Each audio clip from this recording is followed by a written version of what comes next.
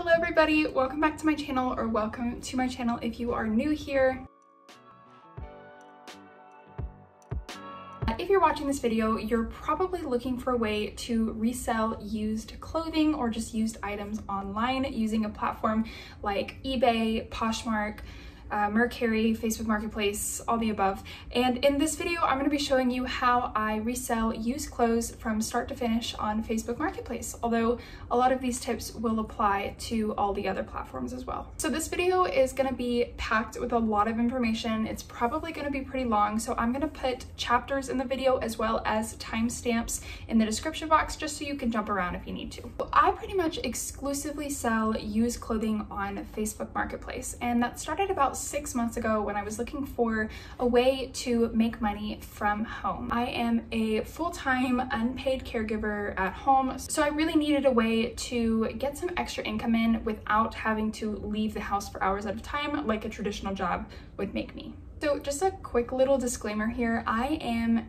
in no means a professional. I'm pretty much just showing you what works for me. I'm also not trying to sell you some idea that I do this full time or that I make some crazy amount of money from this, but this is what I do really just for some extra side money uh, for Starbucks, getting my nails done, or just saving money in general. Uh, for me, I don't live off of this money, but you can absolutely scale up. That's something that people do all the time. So with all that out of the way, let's get started.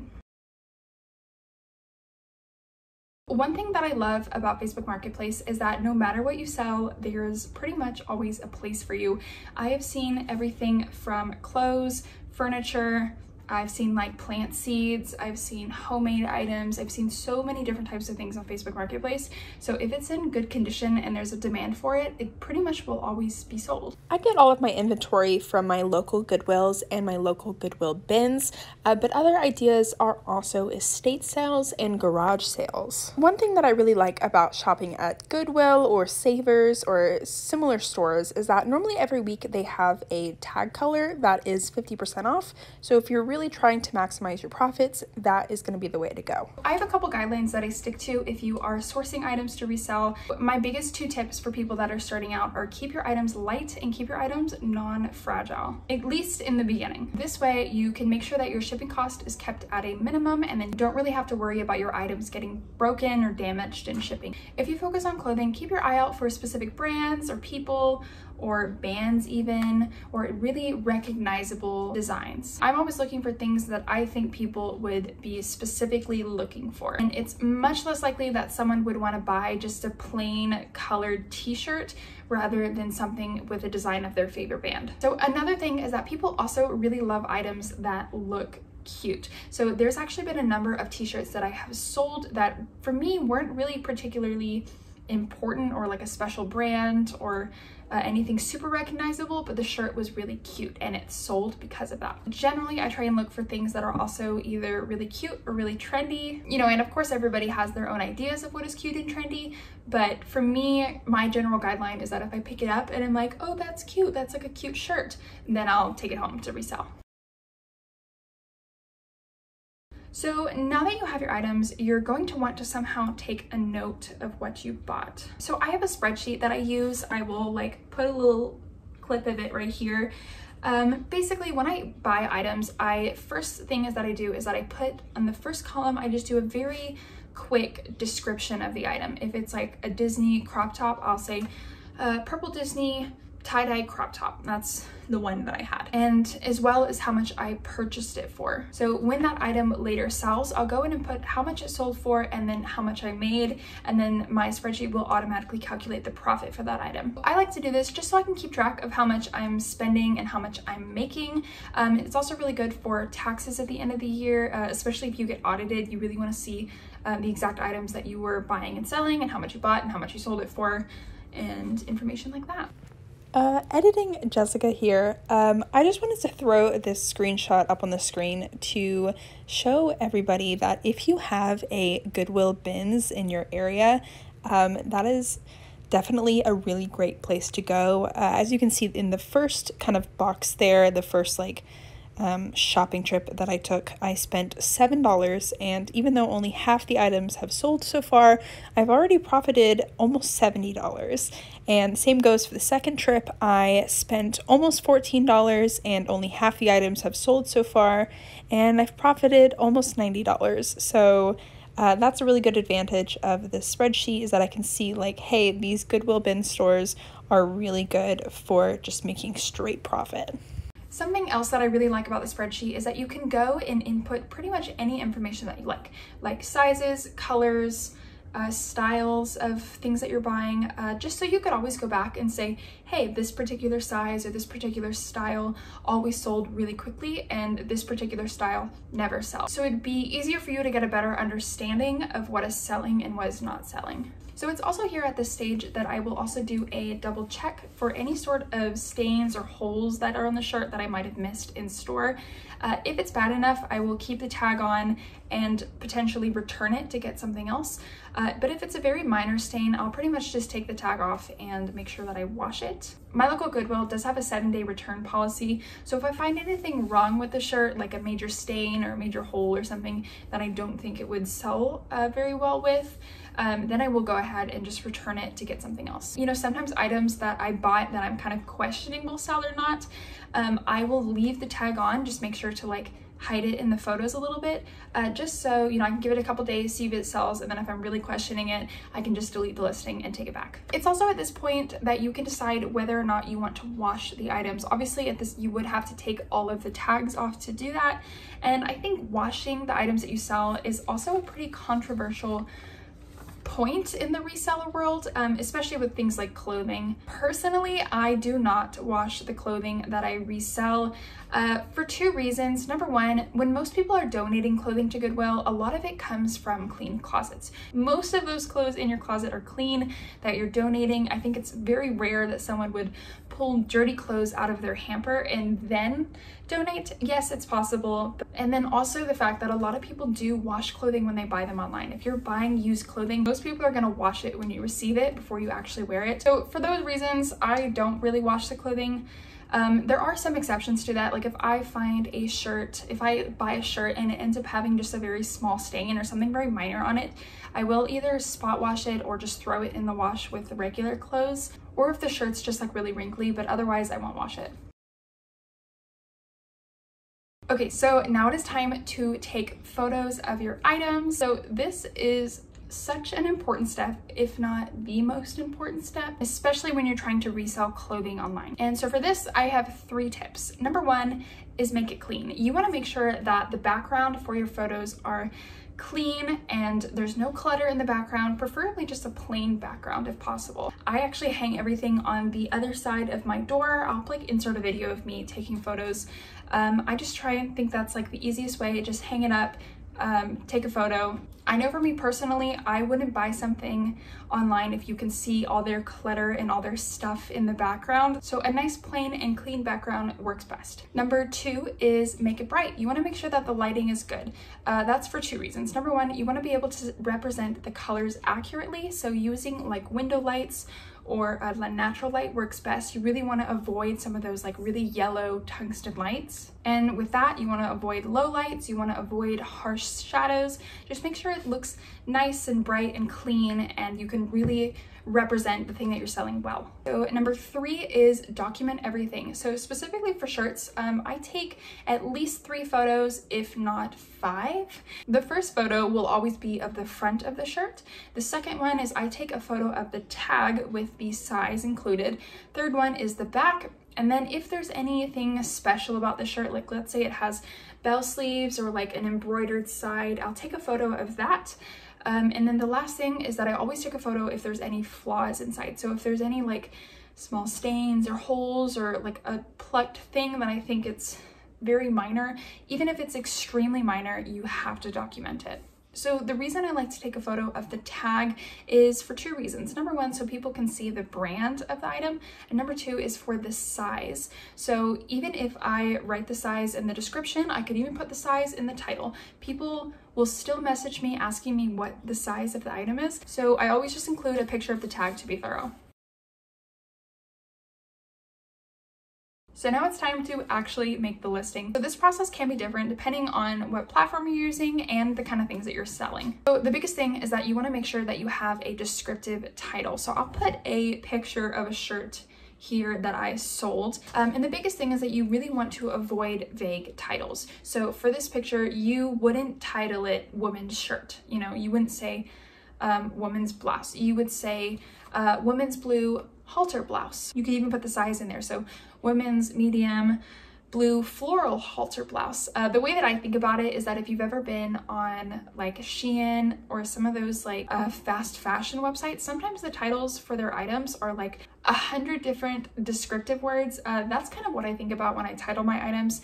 Uh, basically anything that could describe the item accurately is going in the title basically just like use all the objectives to describe it. That's how I think of it. Then you're going to want to add your photos and fill in any other information that your platform may want from you. Um, I know Facebook does have a lot of different options for filling stuff out. I personally fill out the ones that are required, but I do avoid some of them um, I think it's actually a glitch on Facebook Marketplace that when you fill out some of those fields and then you save it, if you ever go back and edit anything about the listing, you always have to refill in all of those fields.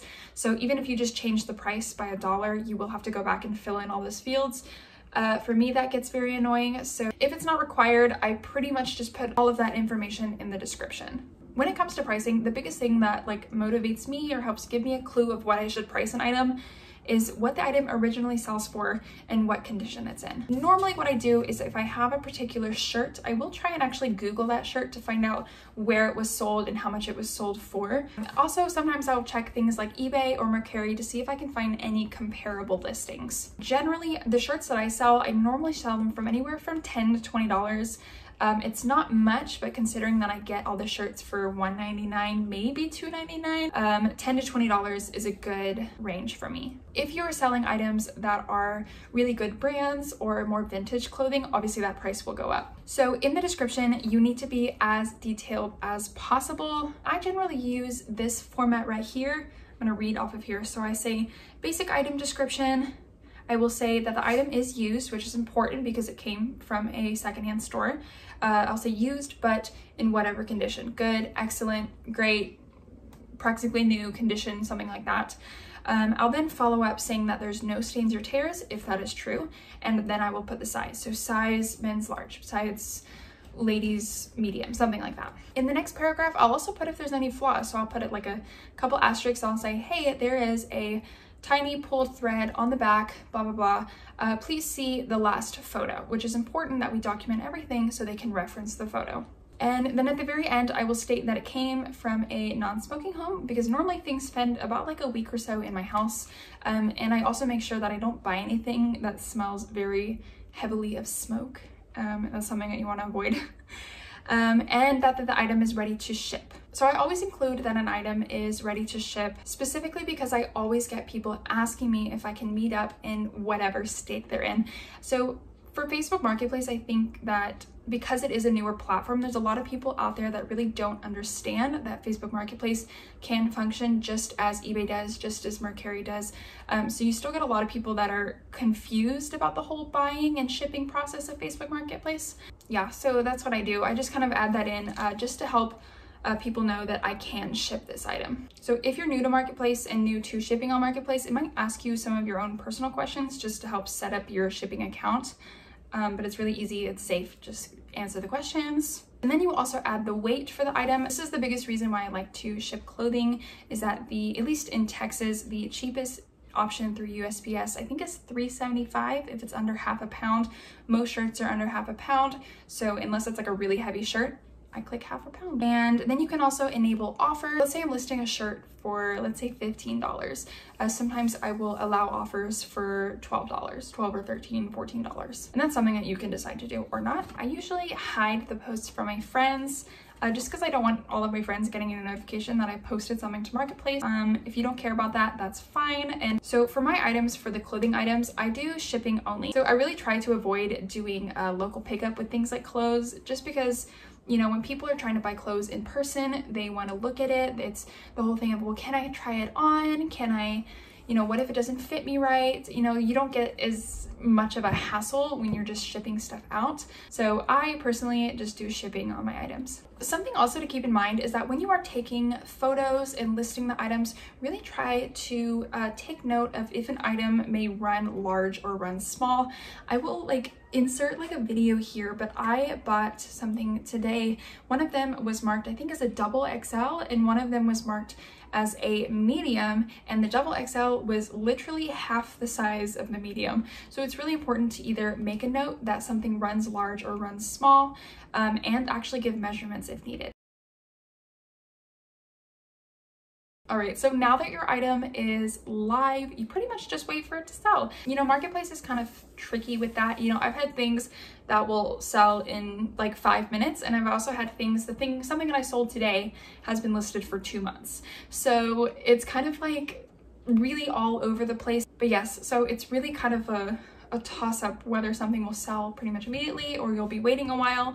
Um, you can do things like promotions on your listings. Um, I don't really I'm not paying for it to be promoted. Uh, but you can also, you know, always decrease the price if you're noticing that your listings are getting a lot of views and saves, but nobody's actually buying it. Sometimes I'll decrease the price or sometimes I'll allow offers for like a couple dollars less than I would want to see if somebody maybe offers something. Um, but generally I'll just leave it and renew it if I need to and just let it be out there to see if somebody buys it. Now it's time to talk about what happens after you make a sale. Obviously, the sale process uh, does change and does depend on what platform you're using. But generally when I make a sale, I will pretty much immediately go in and just send a little note to the buyer just saying, uh, thanks for your purchase. I will get this shipped out today, tomorrow, ASAP, something like that. Uh, just to let the buyer know that you have acknowledged their purchase. So it only takes five seconds and I think that buyers really appreciate that acknowledgement how you ship your items really depends on what you're shipping. Um, I've said this before, I pretty much only sell clothing, so I ship everything in a poly mailer through USPS. I also use a thermal printer to print out my labels.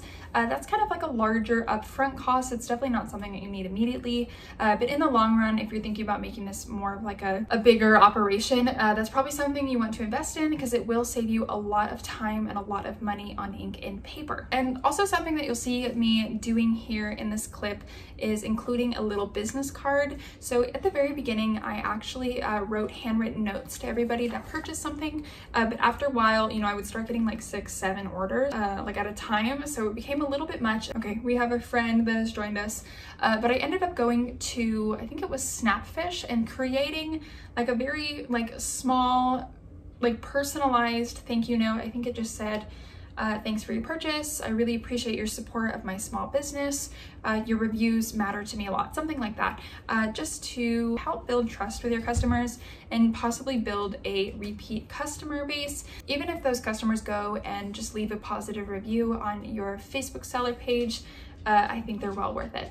And I think if you go into Snapfish, they always have like different coupons and they always have different like promotions going on. I think I spent less than $20 for 200 of them, so they were really cheap. So after that, I just head over to my local post office and send it off. So something that I really like about Facebook Marketplace is that as soon as you uh, kind of what's called accept the order by printing out the shipping label, it automatically marks that package as shipped. It notifies the buyer and sends the buyer their a tracking label. So everything that you ship through Marketplace does have a tracking number attached to it, which is really helpful.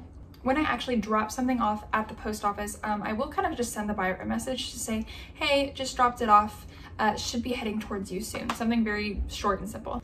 So at this point, it is kind of in the hands of USPS. You have um, sent it off. There's really not much more that you can do.